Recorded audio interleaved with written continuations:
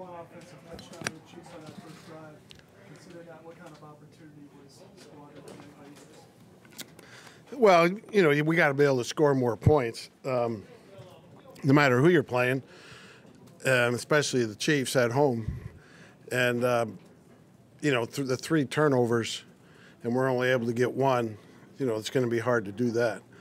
Uh, I thought we did a lot of good things offensively. That drive at the end of the first half was was really good. Uh, we just didn't finish it. Couldn't get the last two yards to keep the drive going on third and two and fourth and two. Um, but yeah, you're not going to beat many teams, especially the Chiefs. You know, scoring ele- uh, 11 points and turning it over three times. Uh, I don't want to, you know, paint that narrative that we played well enough to win.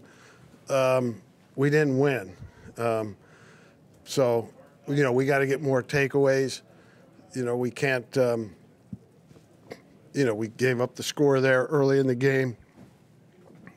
You know, we got to play better in all three phases. On that fourth down on the twenty-play drive, uh, it- The last one, the long drive before half on the twenty-play drive, amazing drive, and then you get down the fourth. It looked like there was a little confusion on the play, like Devontae was looking in the sideline. Was there anything, chance of calling timeout, or do you sense anything?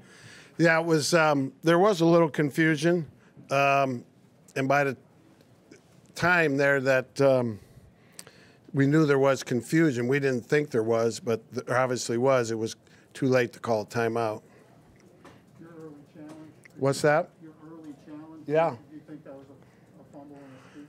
Yeah, I did. You know, and by the way they answered me, they uh, they really weren't sure. They, you know, it was close, and um, it was worth the challenge. The guy took a couple steps, then we knocked it out. I think it was a good challenge, even though it didn't work. They, do you think if they had let the play go, you might have won the challenge instead of, well, they, they said incomplete right away? Oh, there's no doubt that you mean if they ruled fumble on the field? No, if, if they had allowed the play to continue, the scoop and the score, do you think you would? I'm not following your question. They told the officials to let the play go and then rule, you know, I guess. you know, No, they called incomplete on the field. How impressed were you with Javonte tonight? Um, very much so, but I've been impressed with him since the day he got here. On the fourth and two at the long drive, was there some thought to kick the field goal and get some points on it? There was, but very little. I mean, I'm comfortable with that decision. You know, we had converted a couple fourth downs to keep it going.